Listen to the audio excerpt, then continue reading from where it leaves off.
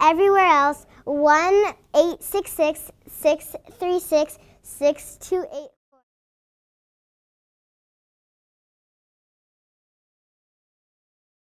We're online at dothemathonline.net and on social media Facebook, Instagram, Twitter, and YouTube. Perfect. So after you get through with that, we'll talk about where you school. What do you like about school? What do you not like about school? Whatever happens to come up. Okay. Sound good?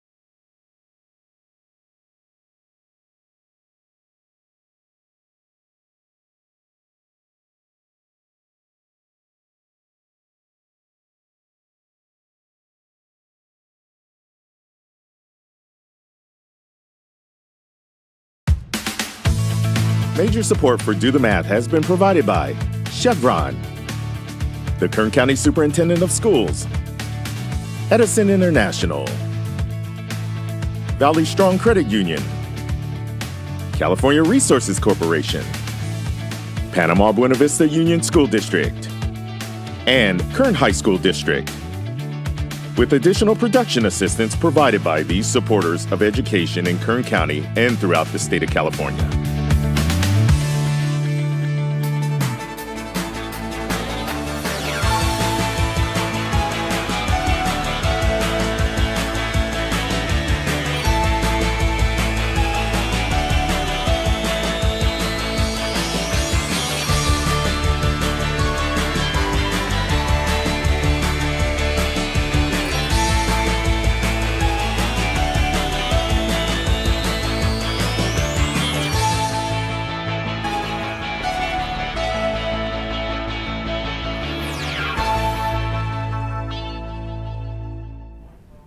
Well, good afternoon and welcome to Do the Math. I'm Michael. I'm Cindy. And in studio with us we have Maddie. And Maddie, if somebody needed to contact us, what would they need to do?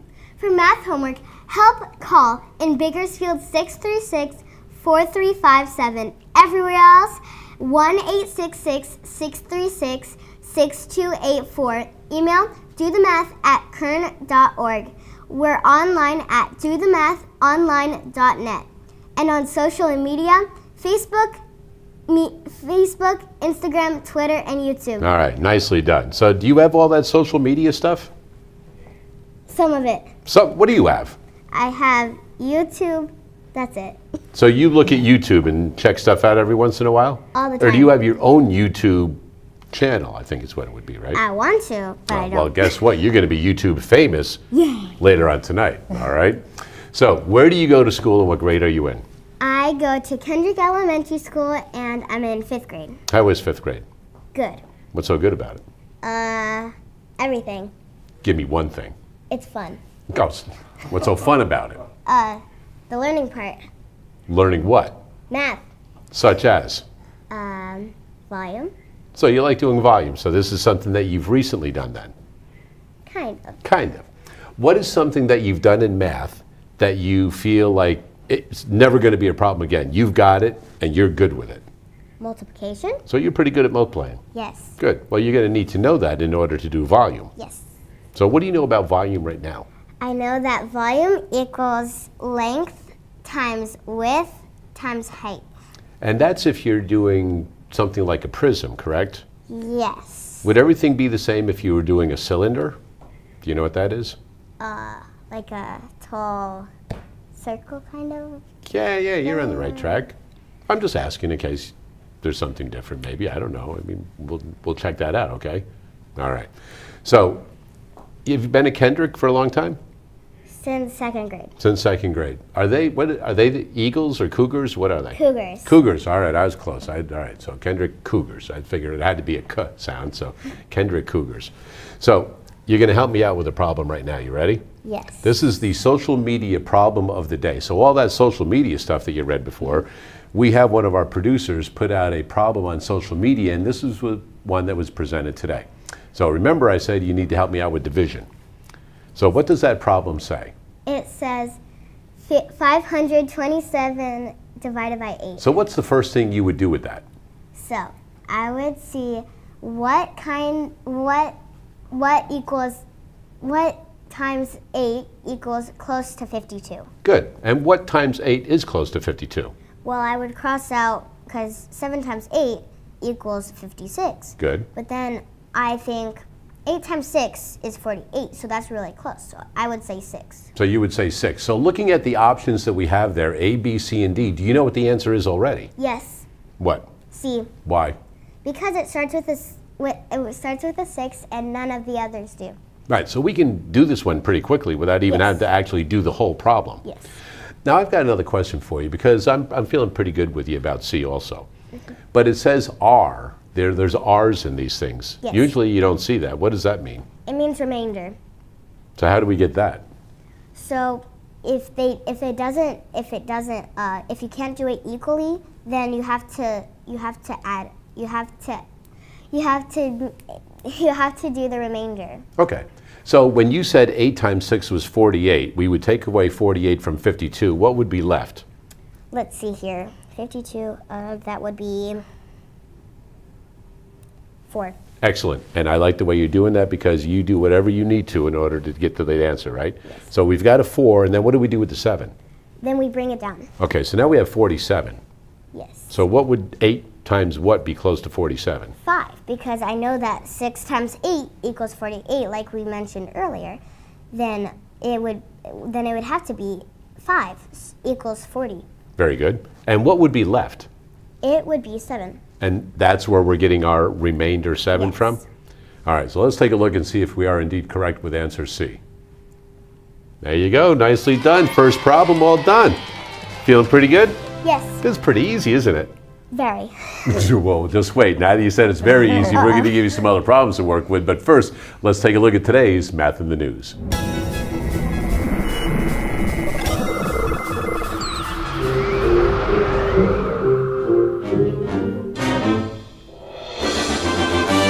So today's Math in the News has to deal with a topic that is coming up tomorrow. Do you know what tomorrow is? Yes. What is it? Combining vol combining volumes. It is combining volume tomorrow in your math class, correct? Yes. Well, that is excellent that you know what is coming up tomorrow. Do you know what else is happening tomorrow? Uh, you, uh, no. All right, take a look at the screen that I've got right here. Uh-huh. What is that? Groundhog Day. Have you ever heard of Groundhog Day? Yes. What do you know about Groundhog Day? Um, so I don't know where, but there's a special groundhog, and it comes out on ground on Groundhog Day, and they celebrate it. There you go. Well, that's a, a pretty succinct way of saying it. So the place they do this is in Punxsutawney. You say that? Punk, pu- Punxsutawney, Punxsutawney? and that's in Pennsylvania. Oh. You know where Pennsylvania is? In the United States of America? Excellent.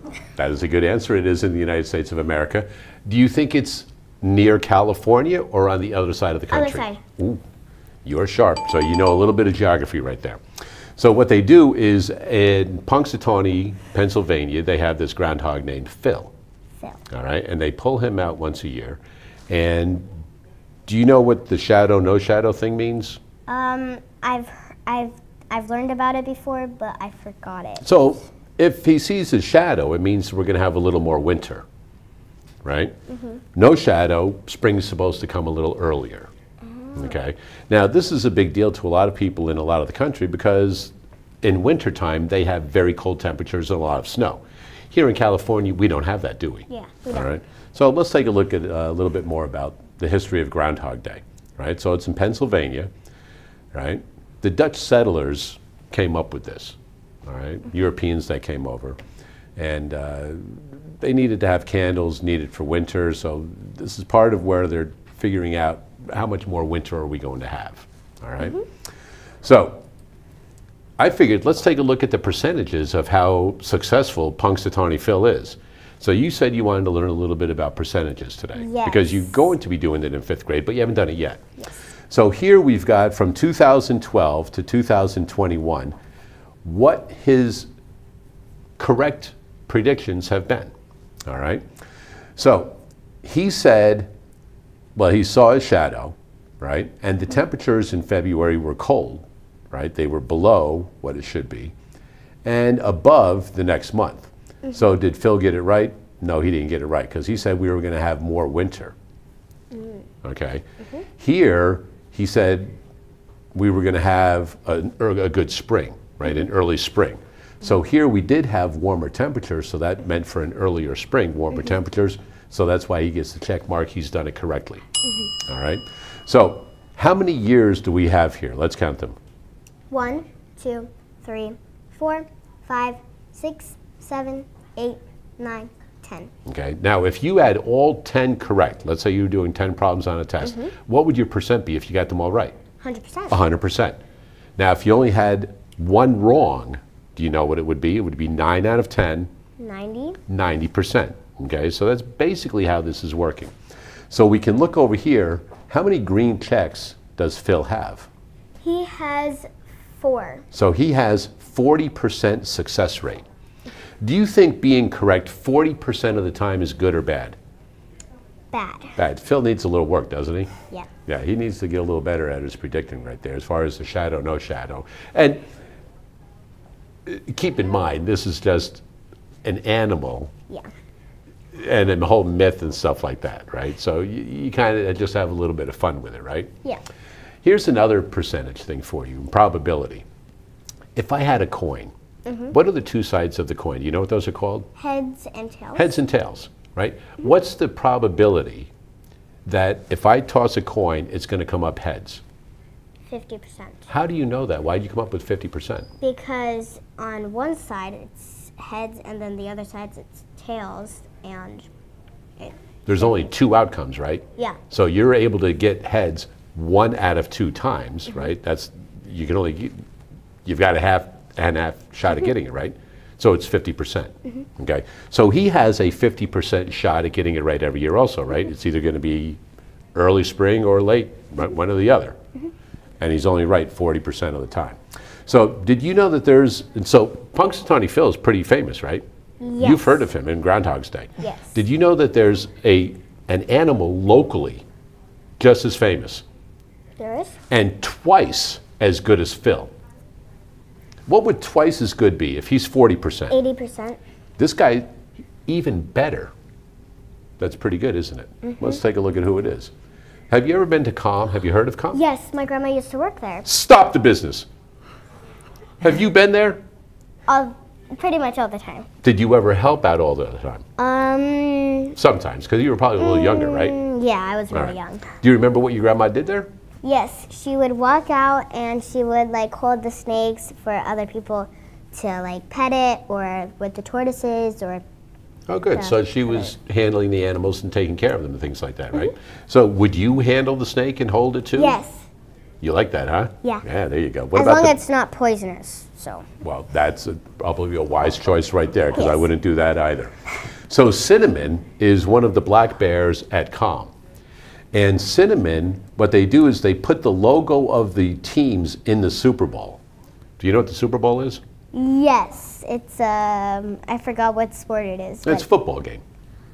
All right. So every year, people like to bet on who's going to win the Super Bowl, mm-hmm. right? And if there's only two choices, what do you think your shots are getting it correct? 50%. 50%. Okay. So Sid, Cinnamon, mm-hmm. they put food in each of these containers. Mm-hmm. And whichever one Sid goes to first and eats, that they're saying that's who he thinks is going to win the Super Bowl. Now, does he really have an idea of what's going on? No, cinnamon is just a bear. Right, he's just a bear. Okay? Animals. But when he goes and eats these things, he's been right 85% of the time. Oh wow. So, do you think it would be a good bet to follow what Cinnamon does or Phil? Cinnamon. There you go. All right. You know what? You're learning quite a bit today on uh, probability odds and stuff like that. And that is today's Math in the News. So we do have uh, Groundhog Day coming up tomorrow. But keep in mind, our uh, buddy Punxsutawney Phil, about a 40% success rate. Cinnamon, here it CALM, 85%. So you, young lady, are getting ready to do a little bit of math. You've already told us a little bit about what volume is. Yes. And we're going to have you start doing some volume, but you're going to do it right after this.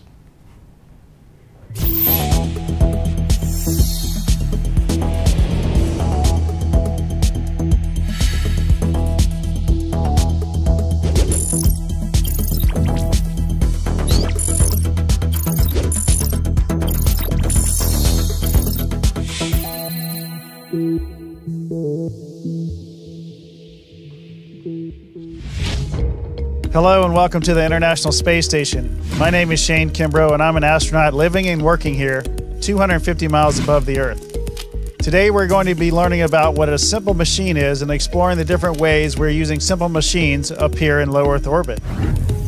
A simple machine is an object that helps us to easily accomplish a task by changing the direction or amount of a force. There are six different types of simple machines a screw, inclined plane, wedge, lever, wheel, and axle and pulley. When we combine two or more of these simple machines together, they are called compound machines. Let's dive into the purpose of each of these devices and how we are using them up here on the station. A screw is a simple machine that helps to fasten two objects together. Up here we use a variety of screws in order to keep our station intact, especially as we deal with microgravity causing objects to drift around. Here's an example of a screw that we may use on a spacewalk.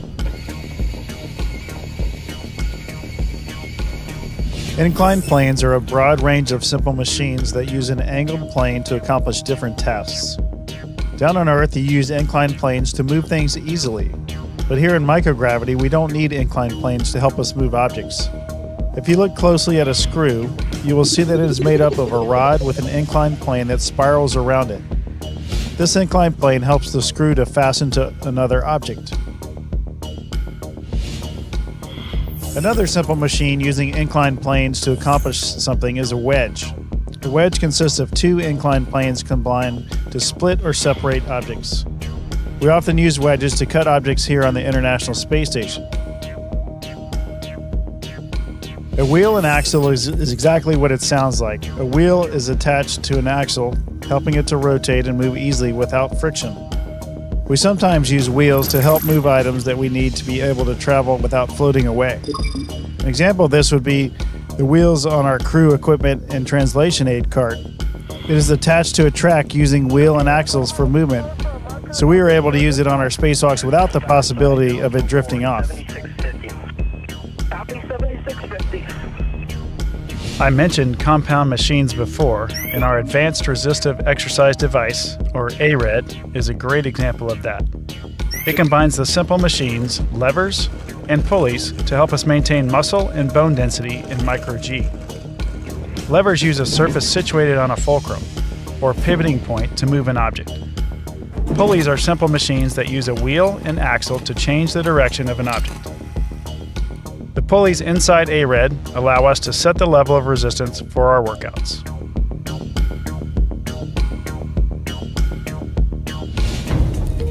Thank you for learning about simple machines with me today.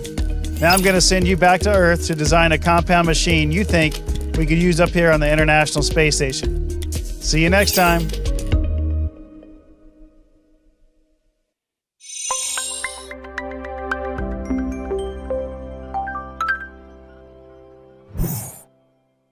Well, simple machines may be simple, but they are quite integral to every part of everyday life. Have you studied about simple machines at all in school yet? Um, I think I have. You think you have. So do you remember hearing about the pulleys and levers yes. and fulcrums and wheels and axles and things like that? Yes.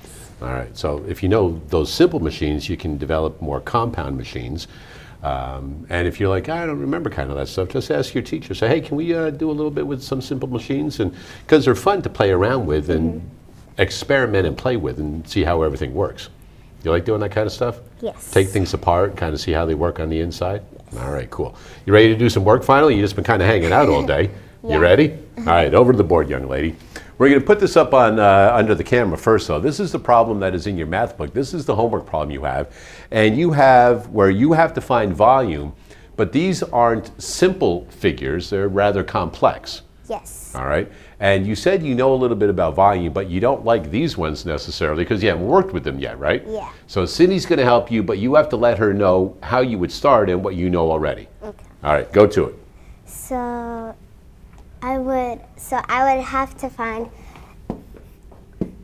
the length times the width times the height. Okay. So I had to so I would have to find the length, the width, and the height. Okay.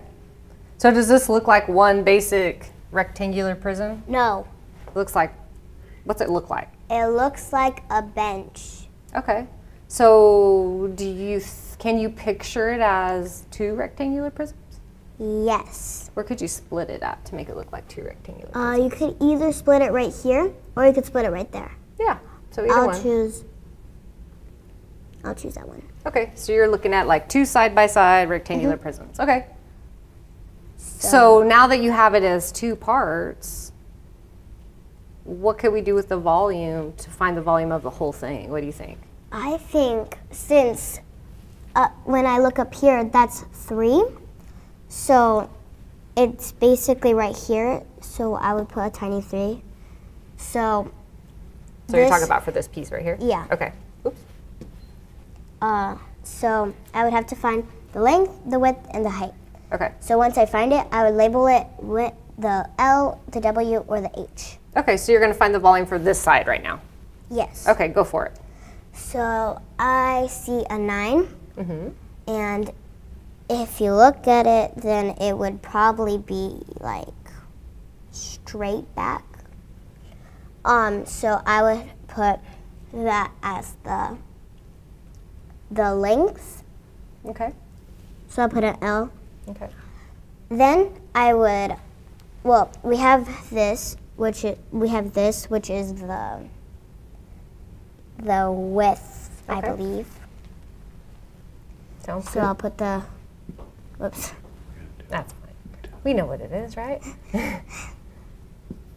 Uh, Okay.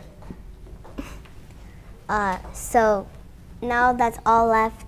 That one thing that's left is the H, which is the height. So I would have to find the height, which is, if I look at it this way, if we just look at it, it looks just like a, a tri, I mean, not a triangle, a, a rectangle. Okay. So this looks like the height over here. Okay. Right, because this Uh. would be the same as that, right? Yes. All right, so you have your three numbers, So we multiply them together, I and then that'll give us this side. Okay, go for it. Yes. I'm just gonna label this A, and then I'm gonna label this uh, B. Okay. Sounds like a good idea. Okay, so um, multiply it together. So I know that 9 times 3 is 27. So we do 27 times 3. 3 times 7 is uh, 21. Then 3 times 2 is 6, plus 2 is 8. So for that, it would be, I think it's like that. It is, yes. Um, okay, good, I was correct. Uh, So before you move on, I know you Yes. said that you think it's like that. yes, Why? because I'm not sure because we haven't really like. Well, then glanced- talk to Cindy about it because we want to make sure you know why you're doing that. Okay? Okay. Okay, so do you know what volume represents? Volume is like, it's the whole thing. So it's like how many cubic Yeah. units, cubic you can fit inside. Yes. And then this three is read as, this is read as cubic inches. Mm-hmm. And so this just represents that. It's representing that you're filling it with cubes. So if I did a model, this is what my teacher said to us. So if you took an empty tissue box and you filled it with like little blocks, Mm-hmm. then that would be the volume. Exactly. Yeah. And then those volumes are, or I mean, those those blocks are cubes, which makes that a 3 Yeah. So Okay, so let's do part B, part B.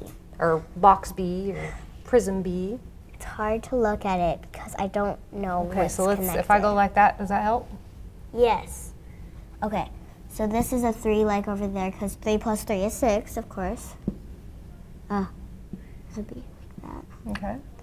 Then it's kind of hard because I don't know. Right, do you get confused slanted. what might be length and what might be width? Um, I mean, sometimes when it's like really big. So let me ask you this. In your, could I take a box and say it's sitting like this and then I turn it like this? Yeah. Is it the same box? Uh, well, it's the same box. Yeah. Does it have the same volume? Yes. Yeah. So it doesn't really matter which one you technically label as length or width. It's going to come out the same because it's representing the same amount of space. Oh. So if you get confused, like, ah, I don't know which one looks like which, you know, you just have to kind of pick. okay. But I'd say, like, since we said this is height, we should say this is height. Yeah. Because that way it matches up with what you did before. Do you think that I I can't tell? Is this like straight? So this is, and then like that. It's like, like this is the top of a box, and this is the front oh. facing you, kind of. Kind of how this one was. This was the front, and this Oh, okay. is the oh, top. Okay, I get it. Yeah? I get it. Now. See it now? I think. Okay. Yeah, I think I. Yeah, I, I got it now. Okay. So this would be the length, and then No, it's the length. Because over there. It'll work as the length. Well, this one was the length, and this was the height, which would be the same as this. It's okay. Oh. Put the. It doesn't. It comes out the same. Because, like you Oh, said, yeah. you could just turn it and Yeah. reshape it, and it still has Because the same volume. Because it's multiplication, mm-hmm. and Commutative property. but definitely not for division or subtraction, but like. Exactly. So it would be three times six times nine. So I like to do. Um, I think I'll do um, three times six. That would be eighteen. Oh, I did nineteen. Uh, Oops. There you go. All right, that's something. I think you combine numbers and letters there. I think. Just go ahead and erase it, Maddie, and start over again. There you go. All right. So you did three Okay. times six is 18. Then we do a 9. Okay, so 9 times 8 is 72. Then 9 times 1 is 9, of course. Then we add 7. I like to think of it that I subtract 1 from the like 7, then I add it to the 9, then it would be 10. Then I add the 6, so it would be 16. So you can do it in your head better, huh? Yeah. Yeah.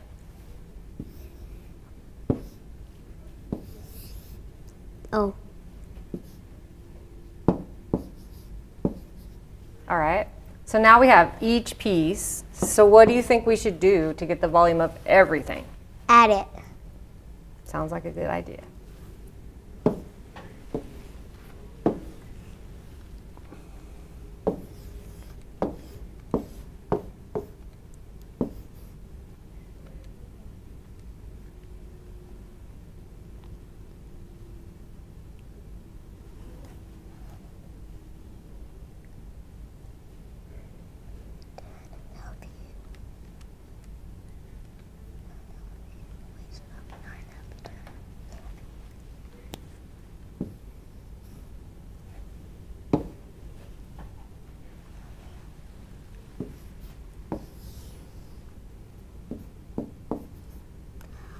A question. Do I put the 3 You still keep it as three because it's still representing filling each one with cubes, which is a three label. Oh, okay.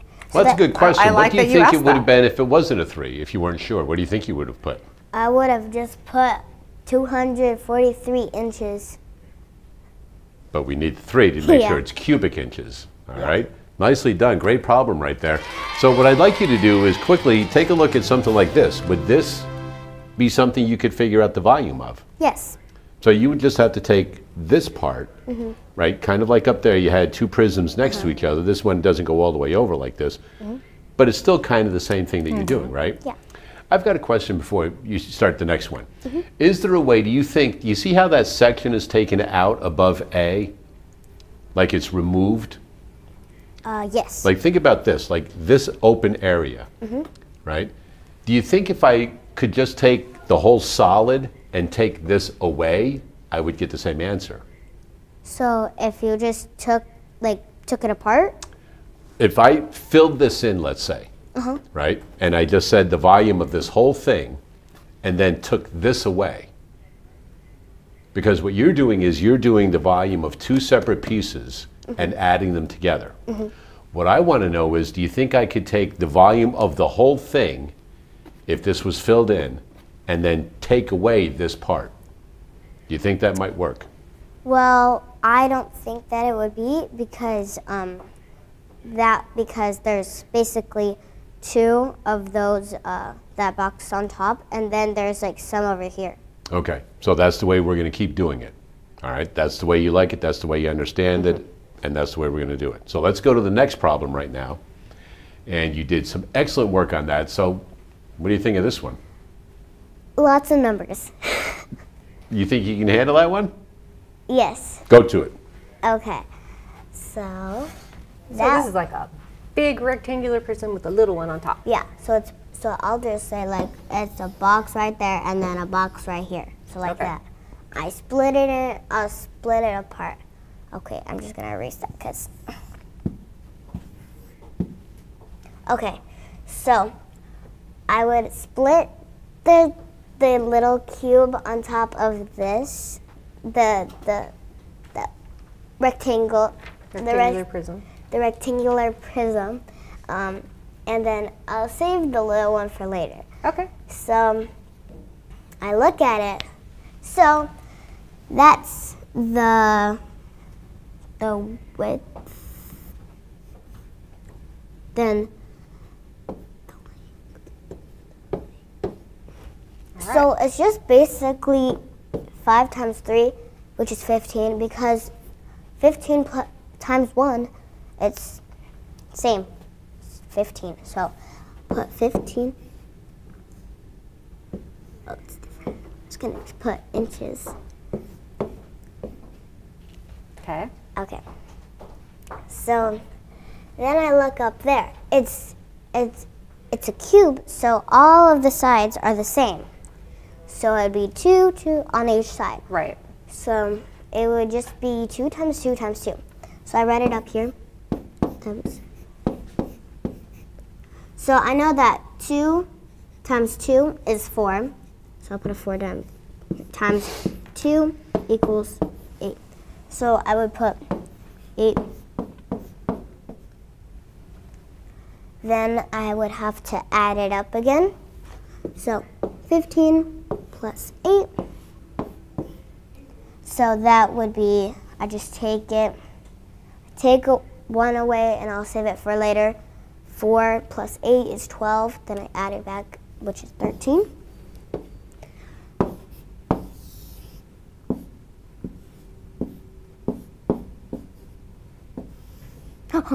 what happened? it's okay. You moved it. That's all right. I fixed it. Got like a little hocus pocus on that screen right there. I'm making it do all sorts of stuff. So nicely done. So you're feeling pretty good about 23 cubic feet.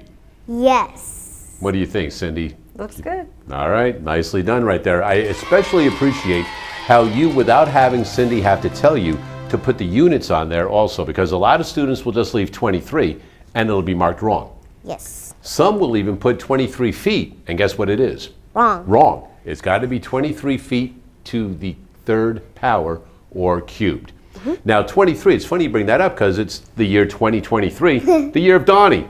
Do you know who Donnie is? No. Oh, a lot of people don't. But for some of the adults out there, know Don Mattingly, number 23. So it, it, it's just funny that it came out to be number 23 right there.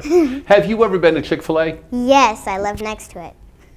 You lived next to it? Yes. I wish I lived next to it, then I could go to it all the time. Well, for doing some great work so far, you've got yourself a meal courtesy of our friends at Chick fil A, so congratulations on that. What's your favorite thing over there? Uh, probably the ice cream. I love I love the ice cream because it tastes like homemade ice cream, and I love homemade ice cream. It tastes different than regular ice cream. You make your own homemade ice cream. Uh, I've done it before. You've done it before, and you like the homemade ice cream. Yes. Is there a particular flavor you make all the time? Uh, vanilla. Vanilla. And I'm sure that's what you get at Chick fil A. Yes. Well, guess what? When you go, tell Troy to throw an ice cream cone on there for you, too, all right? all right. Hey, you know what? We do have phone tutors available most Tuesdays and Wednesdays throughout the regular school year until 5:30 in the afternoon. We'll be back with more right after this.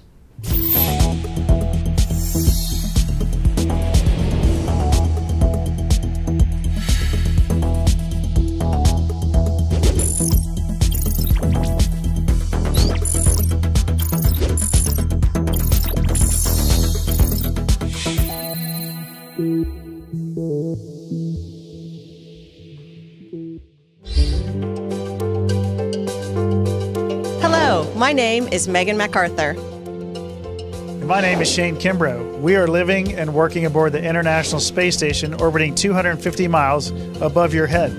Here on station, we live in a microgravity environment which allows us to experiment with weightlessness and push the boundaries of science. Today, we will demonstrate moment of inertia by first using a large flashlight, then demonstrating it with the human body. Are you ready? Let's go check it out. Inertia is the tendency of an object to resist change in its current state of motion. That might sound familiar since Newton's first law of motion is also referred to as the law of inertia. Moment of inertia, on the other hand, describes an object's tendency to resist rotational acceleration. An object's moment of inertia is a property that depends on how mass is distributed around its axis of rotation. There is a relationship between an object's mass distribution and how easily it spins or resists spinning. In general, objects have a lower moment of inertia and are easier to spin if the mass is closer to the axis of rotation. As you can see, the flashlight rotating about its longer axis is spinning at a faster rate than the flashlight rotating about its shorter axis. This is because its mass is closer to the axis of rotation. The spinning flashlight in this position has a lower moment of inertia, which means there is less resistance to rotation. When the flashlight is spun about its shorter axis, its mass is spread further away from the axis of rotation. In this position, the flashlight has a higher moment of inertia. Now let's see if this applies to humans as well. Notice how fast Megan is spinning in relation to her body's position. When her arms are tucked in tightly next to her body, her moment of inertia decreases, which causes her to spin faster. When her arms are extended out, more mass is pulled further away from the axis of rotation, which increases her moment of inertia and causes her to spin slower. This happens because redistributing our mass changes our moment of inertia, which in turn changes how fast we spin. Thanks for coming aboard and watching our demonstration today. To explore more on moment of inertia, check out the Classroom Connection lesson that goes along with this video and discover many other lessons and activities at the STEM on Station website. See you next time.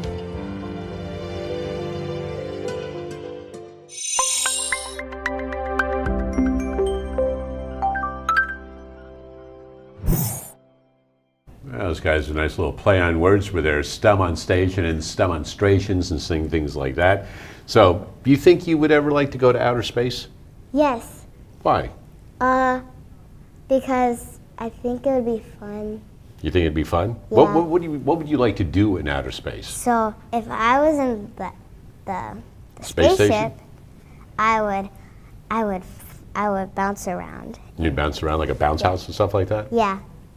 And when I was little, um, What do you mean when you were little? You think you're like an old lady now or something? no, well, well, uh, well, when I was like two or something. Okay, when you were younger. Um, so I wished I want to fly to the moon, and then I remember it since.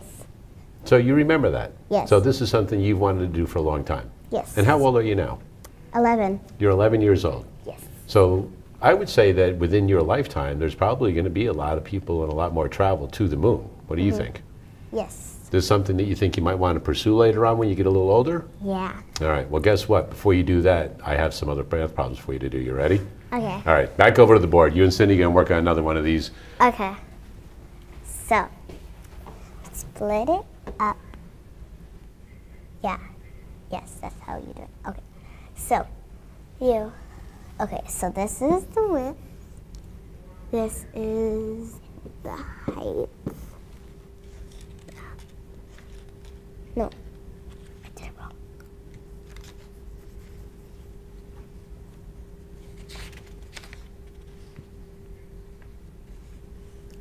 This is the this is the length Okay. and that's the height.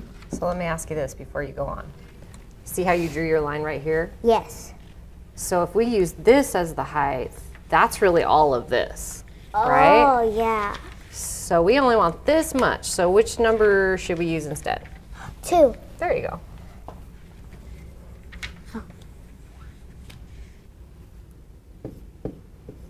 Okay. That multiply. Oh, that was harsh. Okay. So 10 times 10 is 100. Times 2 is 200.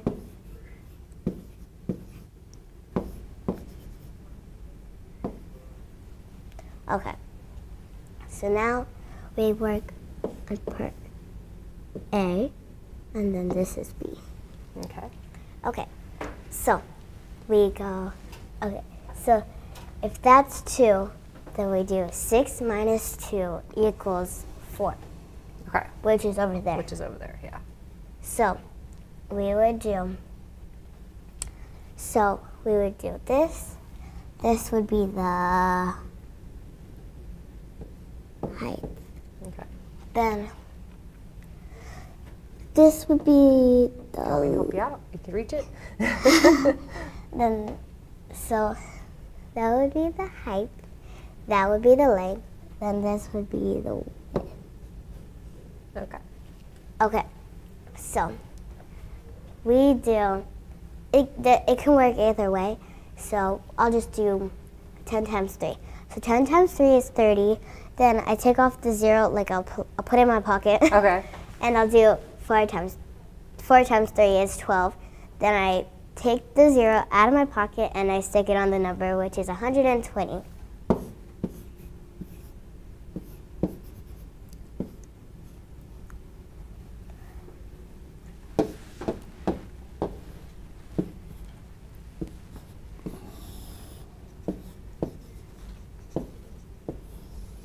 Nice job. I can't help but see your little face right here. Wonderfully done. So explain a little bit about your, what you were thinking and how you were doing the calculations about this putting stuff in your pocket and stuff again.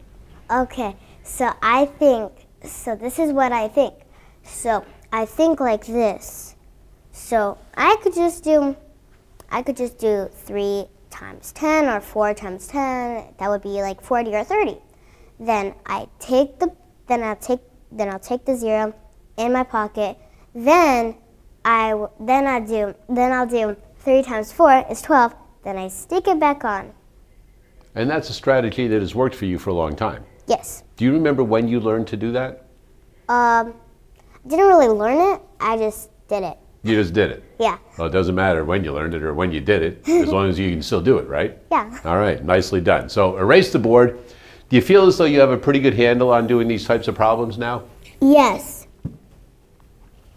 So when you start doing these in class later on this week, do you think you're going to be able to help out your teacher? Yes. Did you want? To, I, I think you said you wanted to say hi. Did you want to say hi real quick to your teacher, whoever that is? Hi, Miss McNallis. This is my. This is your student. You know me. All right. Now, I know that when you were before we went on, you said that you hadn't done anything with percents yet. no. Fractions, decimals, and percents are a big part of fifth grade. Okay. So, do you know what do you know about fractions right now? A lot. Such Right. as Uh, so. Okay. So, for example, five over five equals one whole. Then, it's really easy. You can divide. You can multiply. You can subtract. You can You can do addition. It's really easy. So you can use so for division. This is what my teacher calls it. She says, flip it and switch it. So we do. Uh, can you give me like two fractions? I just wanted to do an example. so you want to divide these? Is this what you're doing? Yes, Okay. dividing. Because this is the only time your little switch it and flip it thing is Oh. going to work. Okay, so I'm just gonna turn this into like a whole number. Whoa, hold on, sister. You didn't tell us that. Oh, Leave it up there, five over six. five. Yeah, leave it there. over Yeah, we're going to go with this. We'll do your whole number later. I'm Okay. give okay. you some room there. So we would flip it and switch it. Okay. So for this, we change it into six over five. And then we switch it. Then we do multiplication. Then we can cross cancel. So that would be one. That would be two. So that so then that would be two fifths. And there you go. Do you know why you switch it and flip it? Um, so you can do it. That's right, so you can do it. All right, so there's other ways It's to do called a it also. So maybe Cindy wants to talk to you, like, because you work with. She just named it as reciprocal. There you go. That's impressive too. All right, so you want the reciprocal. Yes. So because you do these with junior high students also. Yes. So what you're doing in fifth grade, guess when you're going to do it again? We do it with negatives again in seventh grade. Oh wow. And I bet you do it in sixth grade too. And you'll do it in eighth grade. Oh. Yep. And you'll do it in ninth grade. Every grade. And then you'll keep There you go. it, yes. All right. So you know a little bit about fractions. a lot. A Kind lot. of.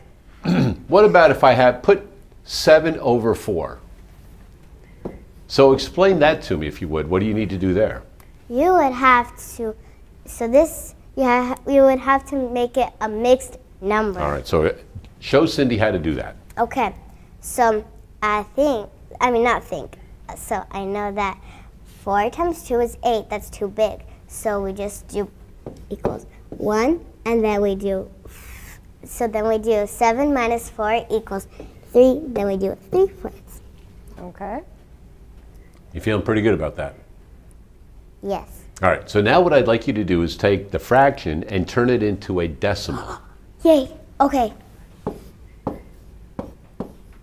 So I know that 4 times 25 is 100. Then we do 3 times 25. So 100, that's 75. So then that'll be 1.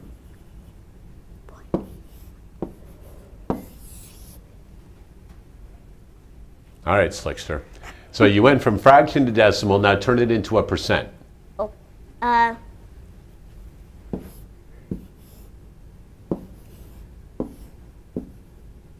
I'm guessing?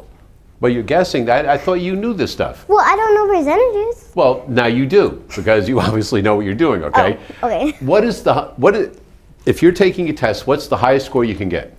100. That's the whole thing, right? Yes. If you got them all right, if I have the whole thing, I have 100%. percent Mm-hmm. Well, how do you get 175% of something then? Well, it would have to be 200%. Then you got some wrong on the math quiz. Then Or what if there was a bon- bonus questions? yeah, bon- bonus questions. Oh, okay.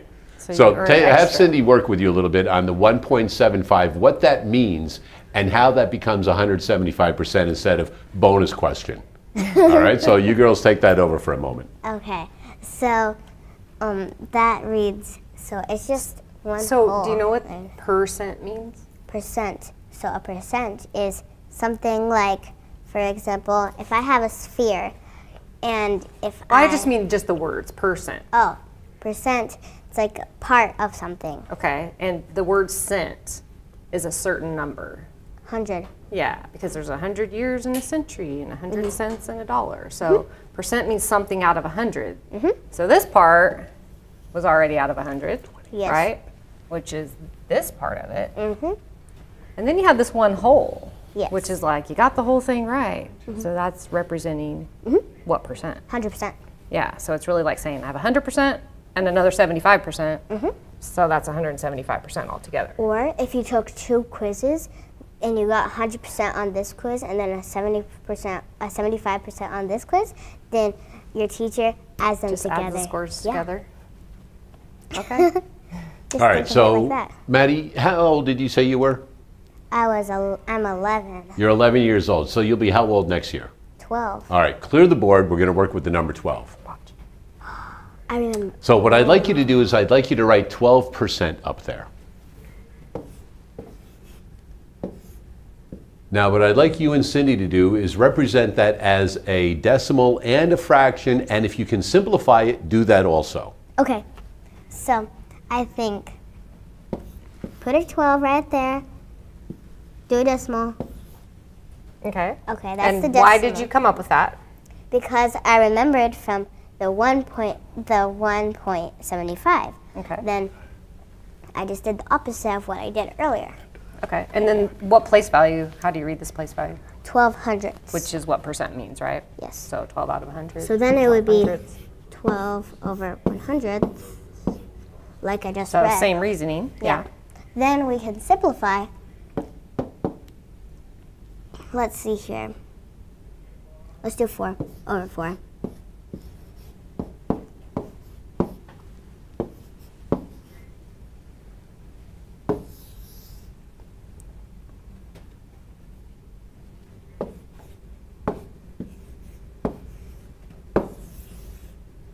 And I'm just going to say, judging from all I've seen of you, you would never get a 12% on your math test. No, never.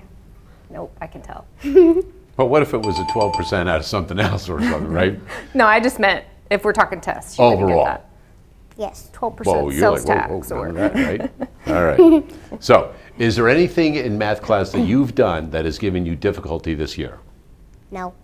Well, you seem pretty bright right there, and I'm glad that you uh, are open to all of the different things that we are doing. Yes. So, are you ready? We're going to give you a couple of problems left to do, but we're going to do it right after this.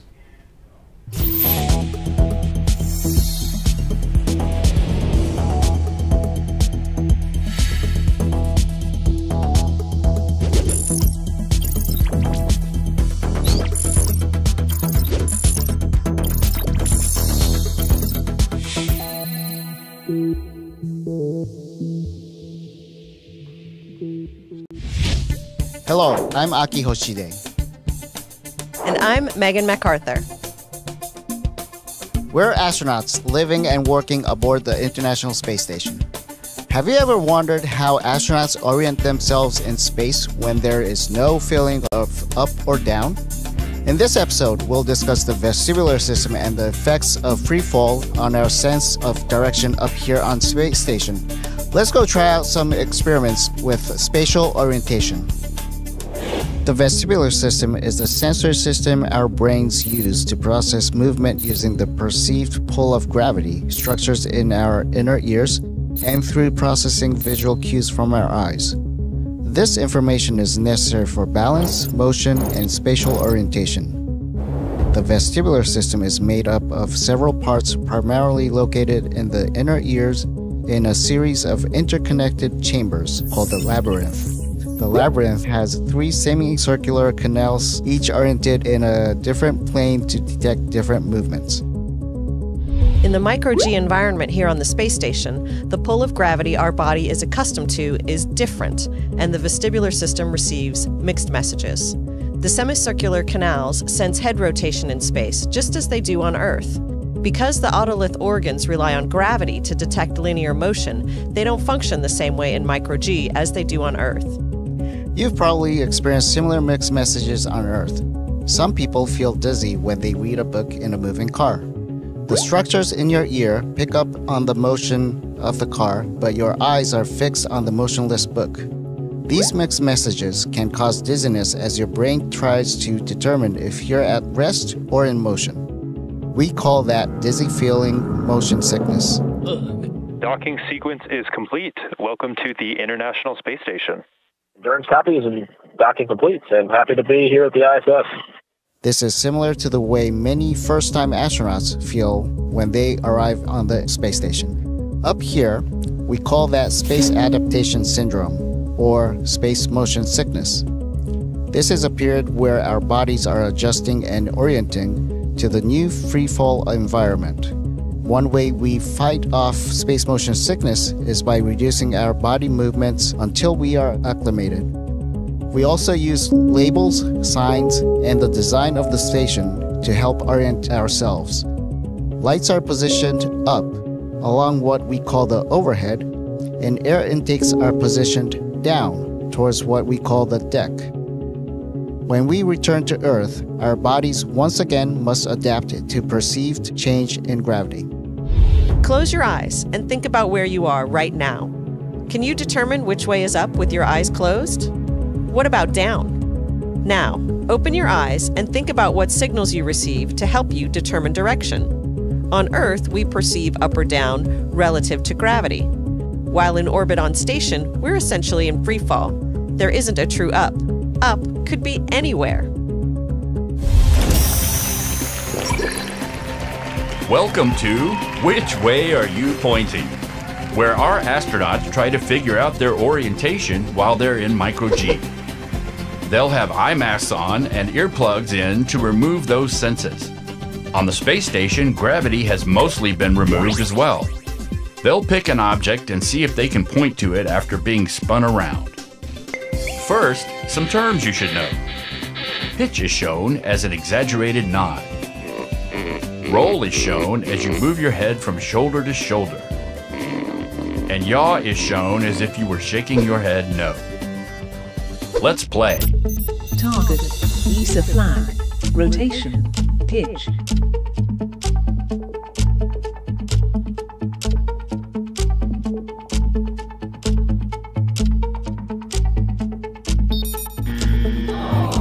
Oh, sorry, Mark. Let's try again. Target, ESA flag, rotation, roll.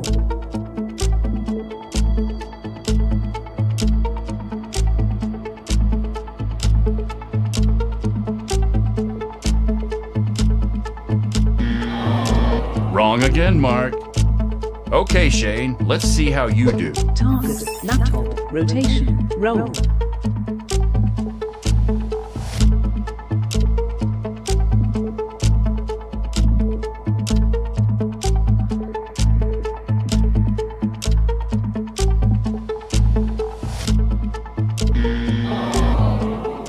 Are just too many missing pieces of their vestibular systems to accurately orient themselves.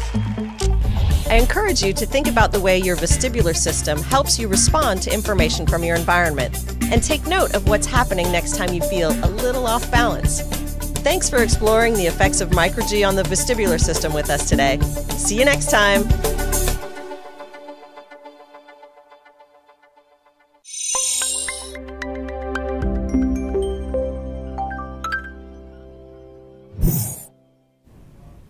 Right, more space stuff, huh? Pretty cool. All right, back over to the board. You're not done yet. Okay. All right. So pick a number between 10 and 99. Hmm, well, I mean, I mean, one, I mean, wait, wait, 10 and 99? Okay. Uh, 98. 98, go ahead and write it on the board. So I want you to tell me which is larger or what's going on with it. 98% of 100 or 100% of 98. 100% out of 98 is big. I mean, it's. So it's we big. either have 98% of 100 or 100% of 98. Is one of those bigger? And if so, which one or what's It going on maybe? be 100% over 98? So you think 100% of 98 is bigger than 98% of 100? You and Cindy talk about it. I'll give you one minute. Um, so 98% of 100 So Right. basically, like, means if there were 100 questions and you got a 98%, how many did you miss? like two. So you, s- it's still represents 98, yeah? Okay. Mm-hmm. Or 100% of 98.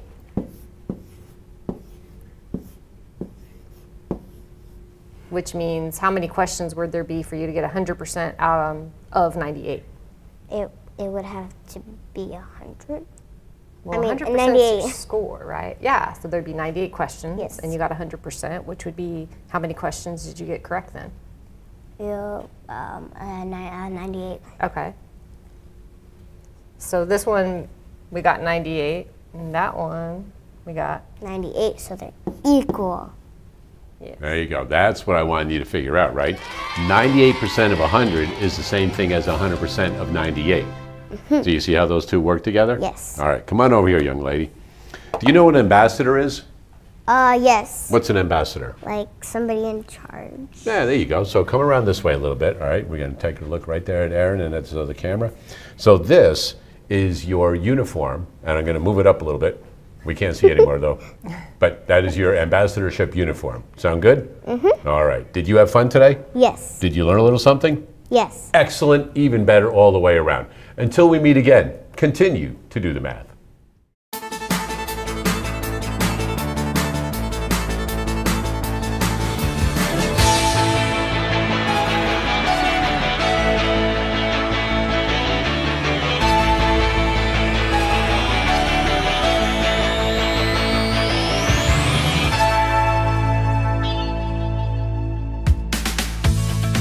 Major support for Do the Math has been provided by Chevron, the Kern County Superintendent of Schools, Edison International, Valley Strong Credit Union, California Resources Corporation, Panama Buena Vista Union School District, and Kern High School District. With additional production assistance provided by these supporters of education in Kern County and throughout the state of California.